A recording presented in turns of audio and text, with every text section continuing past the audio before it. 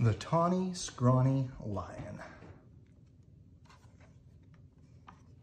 by Kathryn Jackson, pictures by Gustaf Tenngren. Once there was a tawny, scrawny, hungry lion who never could get enough to eat. He chased monkeys on Mondays, kangaroos on Tuesdays, zebras on Wednesdays bears on Thursdays, camels on Fridays, and on Saturdays, elephants. And since he caught everything he ran after, the lion should have been as fat as butter. But he wasn't at all. The more he ate, the scrawnier and hungrier he got. The other animals didn't feel one bit safe. They stood at a distance and tried to talk things over with the tawny, scrawny lion. It's all your fault for running away, he grumbled. If I didn't have to run and run and run for every single bite I get, I'd be fat as butter and sleek as satin. And then I wouldn't have to eat so much, and you'd last longer. Just then, a fat little rabbit came hopping through the forest, picking berries. All the big animals looked at him and grinned slyly. Rabbit, they said. Oh, you lucky rabbit, we appoint you to talk things over with the lion. That made the little rabbit feel very proud. Oh, what shall I talk about? he asked eagerly. Any old thing, uh, the big animal said. The important thing is to go right up close. So the fat little rabbit hopped right up to the big hungry lion and counted his ribs. Oh, you look much too scrawny to talk things over, he said. So how about supper at my house first? Ah, what's for supper? asked the lion. The little rabbit said, oh, carrot stew. That sounded awful to the lion, but the little rabbit said, Yes, sir. My five fat sisters and my four fat brothers are making a delicious, big carrot stew right now. Well, and what are we waiting for? cried the lion, and he went hopping away with the little rabbit. Thinking of ten fat rabbits and looking just as jolly as you please. Well, grinned all the big animals, that should take care of the tawny, scrawny for today. Before very long, the lion began to wonder if they would ever get to the rabbit's house. First, the fat little rabbit kept stopping to pick berries and mushrooms and all sorts of good-smelling herbs, and when his basket was full, what do, did he do but flop down on the riverbank? Uh, wait a bit, he said. I want to catch a few fish for the stew.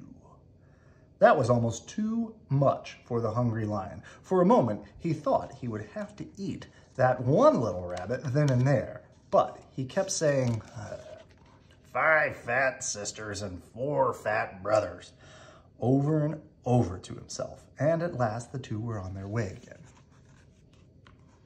Here we are, said the rabbit, hopping around a turn with the little lion close behind him. Sure enough, there was the rabbit's house with a big pot of carrot stew bubbling over an open fire. And sure enough, there were nine more fat, merry little rabbits hopping around it. Then, when they saw the fish, they popped them into the stew along with the mushrooms and herbs. The stew began to smell very good indeed. And when they saw the tawny, scrawny lion, they gave him a big bowl of hot stew. And then they hopped about so busily that really it would have been quite a job for that tired, hungry lion to catch even one of them. So he gobbled his stew, but the rabbits filled his bowl again. Then he had eaten, all, when he had eaten all he could hold, they heaped his bowl with berries. And when the berries were gone, the tawny, scrawny lion wasn't scrawny anymore. He felt good and fat and comfortable that he couldn't even move.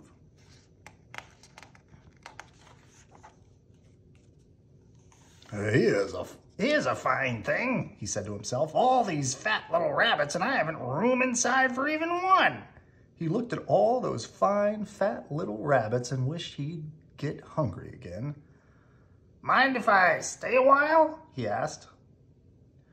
We wouldn't even hear of you going, said the rabbits. They, they, then they plumped themselves down in the lion's lap and began to sing songs. And somehow, even when it was time to say goodnight, the lion wasn't even one bit hungry. Home he went, though the soft, through the soft moonlight, singing softly to himself. He curled up in his bed, patted his sleek, fat tummy, and smiled. When he woke up in the morning, it was Monday. Hmm. Time to chase the monkeys, said the lion, but he wasn't one bit hungry for monkeys. What he wanted was some more of that tasty carrot stew. So off he went to visit the rabbits. On Tuesday, he didn't want kangaroos, and on Wednesday, he didn't want zebras. He wasn't hungry for bears on Thursday, or camels on Friday, or elephants on Saturday. All the big animals were so surprised and happy, they dressed in their best and went to see the fat little rabbit. Rabbit, they said, how? You wonder, oh, you wonderful rabbit, what in the world did you talk to that tawny, scrawny, hungry, terrible lion about?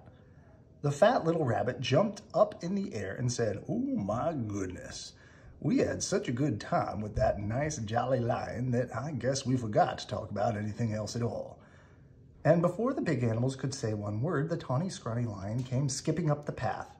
He had a basket of berries for the fat rabbit sisters and a string of fish for the fat rabbit brothers and a big bunch of daisies for the fat rabbit himself. I came for supper, he said, shaking paws with all around.